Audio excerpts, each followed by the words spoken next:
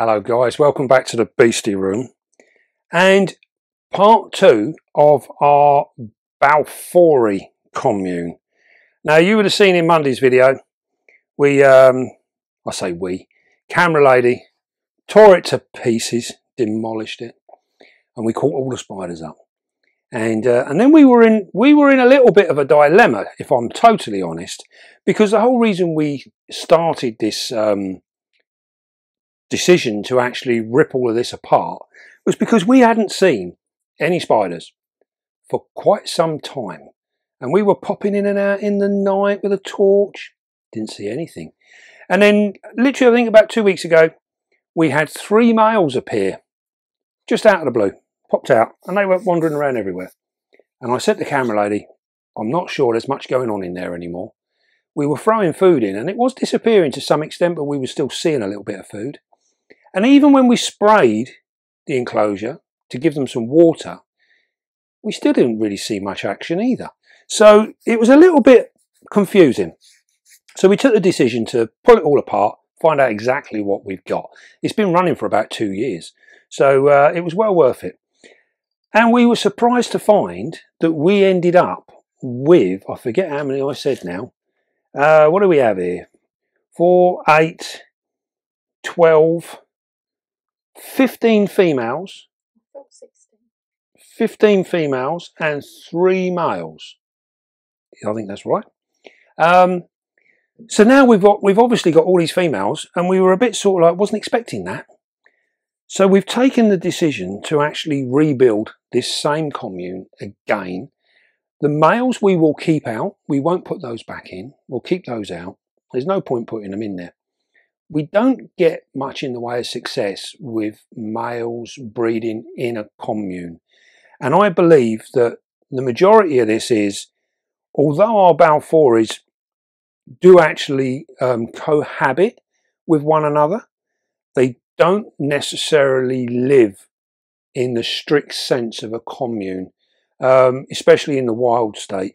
And there's been very little um, literature about what they do get up to in the wild state. But I think, my own personal opinion, is I think that we've over exaggerated the communability of the Balfouri. And um, although they do it, I don't believe they do it necessarily like that in the wild. I think they live in loose communities where, you know, males and females will get to, to mix and what have you. But when a female is um, gravid, she will then wander off somewhere on her own, quiet, have an egg sac, hatch them out, and hey presto, they will join the world the same as any other spider does. In the commune, the males are constantly harassing one another. The females are constantly harassing one another. And um, it, sort, it doesn't work as a breeding program. So we found our best results is having them singly, and we get really, really good results like that. Um, and we breed them consistently like that.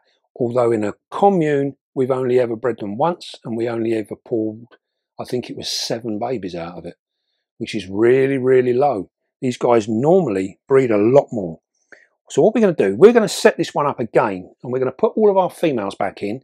We'll probably keep three or four out to add to our breeding, but the rest of them, they're going to go back in there so we can set up another nice commune.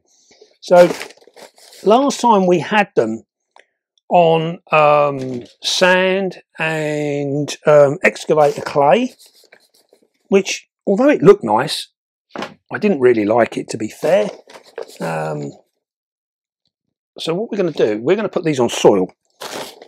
So we've got a relatively dry potting compost mix here. I mean, you also see in there, there's lots of other bits and pieces. And this is because we've reused quite a lot of different substrates and we've mixed them all together. Um, making sure that they're from, most of the stuff that we put in here is actually soil that was used in with um, different isopods. So it's not really spider based, it's all been from old isopod um, tubs that we had. So we're just going to fill it up.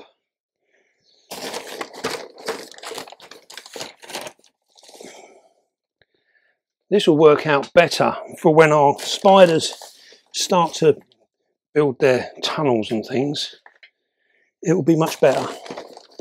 I find the excavator clay, although it's it's quite popular, I find it a little bit too heavy. And I'm not overly keen on it. So we're going to put this in here. Right, I think we've gone with quite a fair bit there. So that's cool. So the beauty of the Balfouris they're very, very easy to set up. Very, very easy. So what we can do there, we've literally layered that in. Now we're going to put some cork barks in different places.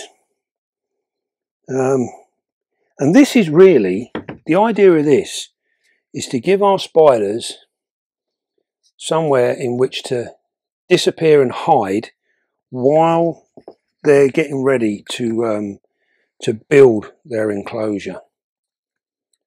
So we're just going to pop them in like so. Nothing too drastic. So I need to give them somewhere to disappear. And then we're going to use the old branches that we had in the old enclosure. Now you notice we've cleaned the web off of them, but we've not been particular about it. Um, and this is because this will still all have um, the scent and the hormones. You know, they'll be able to pick all of this up from the old stuff. So hopefully it will make them feel a little more at home. This will give them the anchor point so that they can rebuild their house. Bear in mind, we just need to keep make sure this one here doesn't get in the way of the glass. And we can literally we can do whatever we want with this stuff. Absolutely ideal.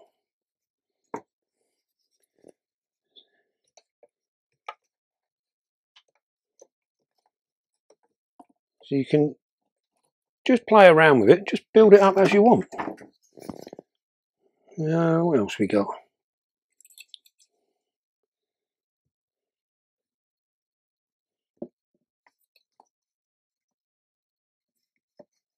Down like so. Just interlock them a little bit.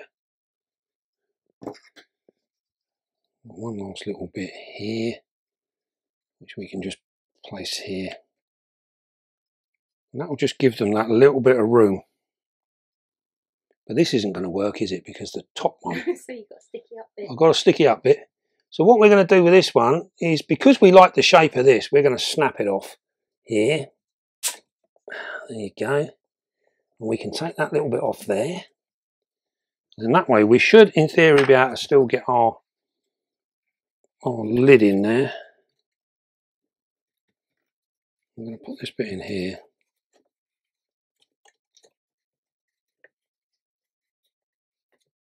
There we go. How's that looking? Terribly says, look. How on earth did that? That's it. There we go. Right, we're all in. I think we're good. Now, what we will do now is because we've got no um, no webbing in here at all at the moment, we are going to put a water bowl in the front here, which we can fill up now this will, um, this is because our spiders still need water. Now generally speaking we would put a water bowl in with our spiders but with heavy webbers it doesn't really work out so well because quite often or not the spiders will web the bowl over and then they don't get a drink anyway. So what we do with our heavy heavy webbers is we just spray very very gently we spray the webbing and then they will come out and they will take the droplets of water off of that webbing. Now this is something that we've done for a long, long time. And it's been nice actually to see in the hobby now, there's many more people are actually spraying their Balfouris because there was always the opinion that they need to have it extra, extra dry. This isn't the case. We found that they work really well around about the 60, 65% humidity. They, they, they like it, they thrive. So they do really well like that. So what we do now is, because they've got no webbing that we can spray, and the water would just disappear into the soil, and that in itself would make it too wet. So although they like a little bit of moisture, they don't like getting their feet wet. So it's two different things and we have to try and work on that. So we give them a water bowl so they can come out and get a drink. And it won't take them long. Once we put them back in here, they will soon move in and um, before you know it, they'll start webbing it all up. So what we're going to do now is we have got our spiders here. Now sometimes putting them back is worse than taking them out because they don't actually know where or what they're going to do. It's all a bit alien to them. So we have to be a little careful. What I'm doing now is I am just literally flicking through, have a little look. They're nice. That's a nice one. Right. I think what we'll do is we'll keep them four out. They will make nice future. That's a nice one as well. Oh dear. Oh man, this is the problem, We're spoilt for choice. Four will be enough. Four will be enough. We have got other females that we've got for breeding as well. So that is going to give us four, eight, twelve. 12 spiders. I there were 16 females. Oh, don't you just... you just hate a flash person. So we've got 12 females that we're going to put back in here. And um, we've got our lid over there, which is completely out of my reach. Let's put this back under here. We are going to get ourselves prepared because as we said, quite often or not, putting them back is worse than taking them out. So I think what we're going to do, I am going to work from the top here. We're going to drop them in. Hopefully they're not going to run away. We've got a catch cup here. No lid. Let's get a lid. That's it. So we've got a catch cup should we need it. And what we're going to do now is we're just going to plonk them in. Now you see all the fun that Camera Lady had getting them in these boxes. I'm going to show you now just how easy it is to get them out. Very, very simple. We literally open the lid up and we can plonk it down here. And probably bolt straight out and over the front. There we go. Well, there we go. Now, you remember me saying to you that these guys often are worse going back in than they are coming out. So what we're going to do, we're just going to guide it. There we go. That's one down. I think what we might have to do hmm. how are we going to do this? We might have to put the roof on and put them through the front. Because I've got the feeling we're going to end up having fun and games. So what we do is we put this in I was hoping we'd be able to keep it open so that we get to see a little bit more about what's going on. You're determined to go out, aren't you? Go in.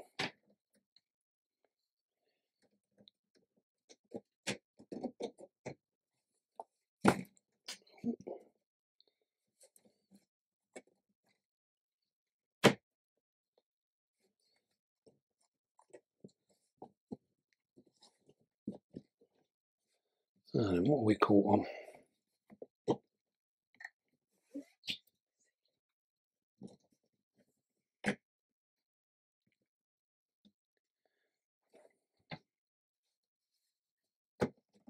Right, there we go. That's it. Right, are we there? We good? What side do you need to be? Good question. I think what I'm going to do, I'm going to put that like that. Then we're going to get our other piece of glass. I'm going to put that in the back.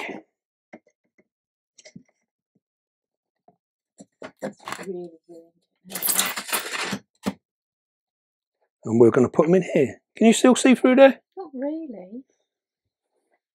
Yes, you can. Mm. You're trying to make life difficult for me. Right then. Here we go.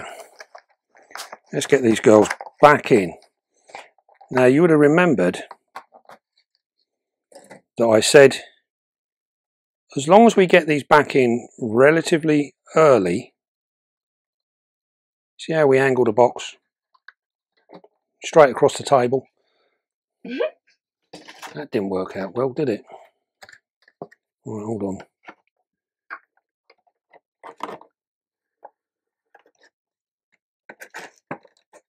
Don't be a nuisance, come on. Right, let's try this again. I think we should have let camera lady do this, guys. Just saying. All right. Go on, go inside. There we go.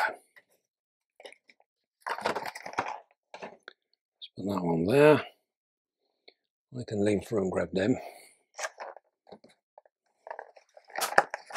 We can do another one. You were saying taking them out and putting them back again. Yes, so you remember we said as long as we get them to go back in relatively soon after they've been separated, we shouldn't have too many problems. And they should all mix back in nice and easy.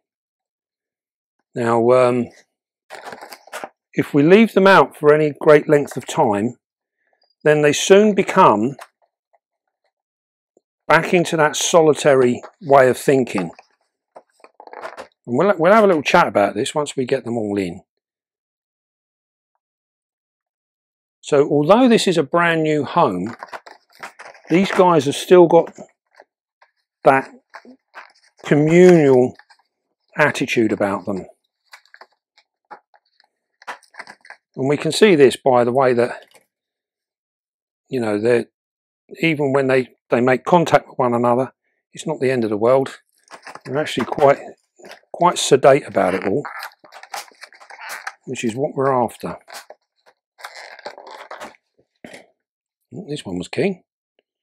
He's out. Or she, I should say. This is purely females going back in here, no males. Now, we could, you know, you might ask, why not put a male in and just see what happens? We know from experience that it just causes problems, really. So I know there has been accounts online where people have actually managed to um, to to have males in there, and they've managed to get you know breeding results, but it's very hit and miss. And uh, I'd rather just have a nice steady steady communal and not have to worry about it. And we do all of our breeding externally so all of our females can have a nice quiet time as it were as you can see now they're all going back in nice and gently I think that one literally leapt out of the box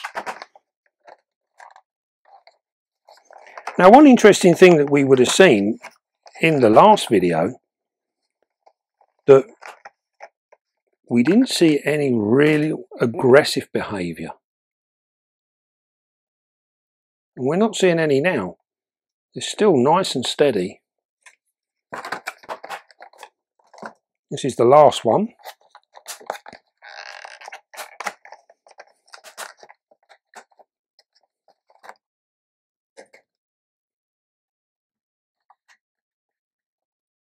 There we go.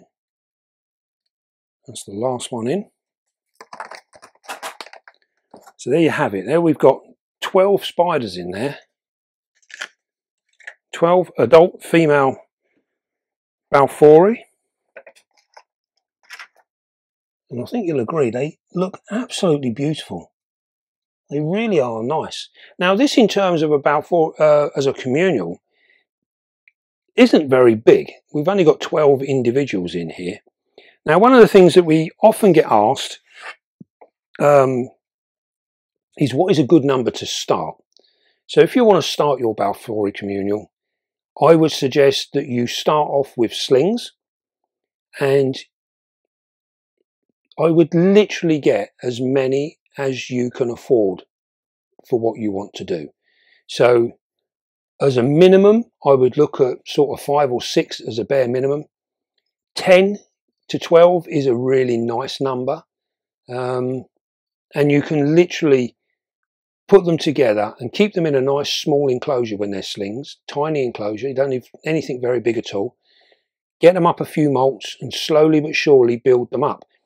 The key to giving them, having real success with them is not to give them too much room. So the more cramped they are, the more social they become. If you give them lots and lots of room, they will then in turn set up um, individual territories, and this can cause problems. So that is what we want to avoid. We don't want them setting up um, individual territories. So when you get your slings, you can, if you have, um, say, 10 or 12 slings, you could keep them in something this big with literally just a piece of bark in the middle. And then what we would do with them is we would put pre-killed roaches or crickets or whatever you have in there, make sure it's dead, they will come out of the night time and they will eat. Then once you've had two or three molts and they're they're looking, you know, they're getting up to this sort of size, you could have ten of them in here at this size, no problem at all. We can then upgrade them into say like a Braplast box, um, and then and then slowly but surely we build our way up, and that is the key to having decent success. Don't give them too much room too early on, and they will all grow. Now, as we said earlier on, this this um, setup that we've done here now, looks absolutely wonderful with them all on the back wall there. They look fantastic. This is purely to be as a um, decorative visual display, something that we can just enjoy and we can watch our spiders build their new home. There is going to be no breeding here because there is no males.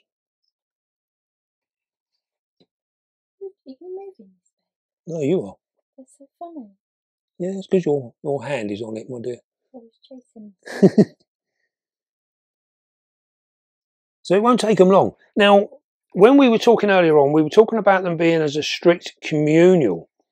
And what I believe has happened here with, with the Balfouri is we have literally tapped into a spider that is far more tolerable of its own kind within a given area.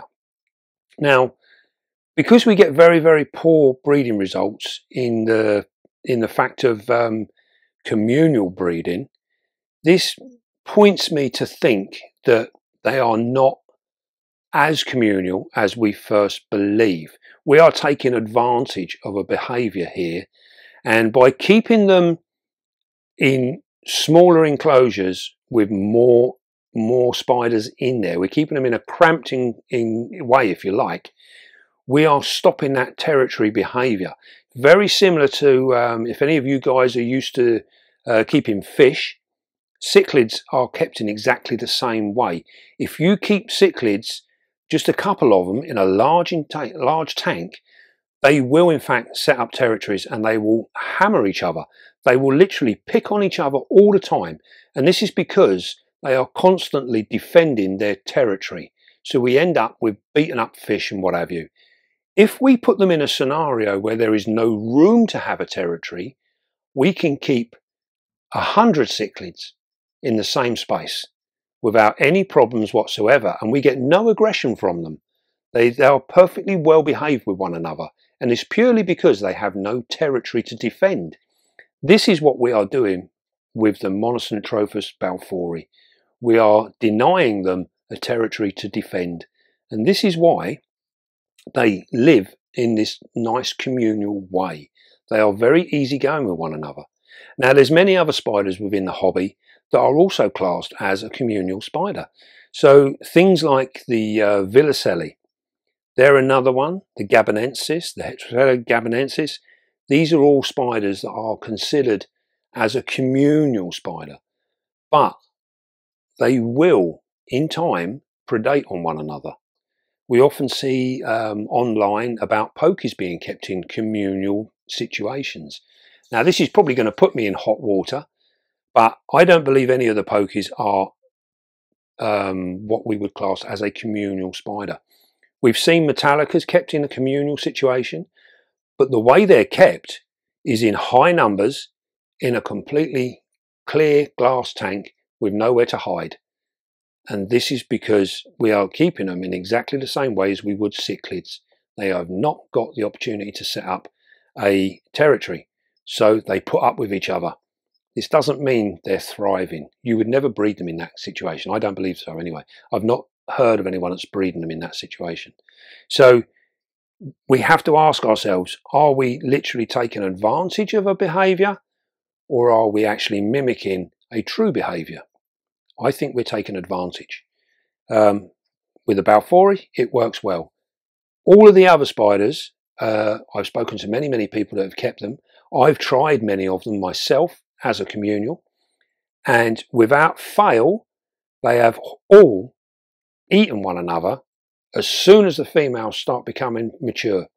As soon as they start getting big enough and start maturing, the hormones start kicking in, they then become very territorial and they then eat anything that's smaller than they are. So it's not what I would class as a communal type of behaviour. Right. So, yes, food wise, with any commune like this, we often ask, you know, how do you know how much to feed? Well, we would literally, we got 12 spiders here. We would throw in maybe 20 large crickets or red runners or anything like that. Try not to feed dubia roaches to your colony. If you're going to do it, use the males because the females will just burrow down and disappear. Um, it's good to have prey that will actually run around on the surface so these spiders can hunt it down. Um, and they will do, they will come out and hunt it down. It doesn't matter with adult spiders if you've got a few roaches or crickets running around in there. They will soon get mopped up in no time at all. So don't panic on that. When they're, as we said earlier on, when they're very young slings, we pre-kill their food. I've found in my experience that um, New sling balfouris are very, very slow to kill their own food. So we always pre-kill it, give them that head start, and that seems to work really, really well. And then once they've webbed it all up, we can do away with a water dish, or we can keep it, it's entirely up to you. But once they've got webbing, I like to spray the webbing. And this often encourages them all to come out and say hello and have a drink. So it's a really cool way of seeing your spiders. Just don't get it too wet on the floor because they do not like getting their feet wet. Look at them all up here. They're all up in this side now. Because you put the front glass in, it's difficult. Wow. If we got really fancy and clever, we can slide the glass to the other side. Yeah, you see? For anyone that might be worried about the one on the ceiling, do they need to be worried? No, that's actually a very good point. Another question we often get asked is Do you ever worry about the mesh on the ceiling with your spiders getting caught up in it? Now, on these enclosures here, these were made to my own design. So I had these specially made for myself. And this is food grade stainless steel mesh on the top, and it's a very tight weave. So they don't get stuck in it.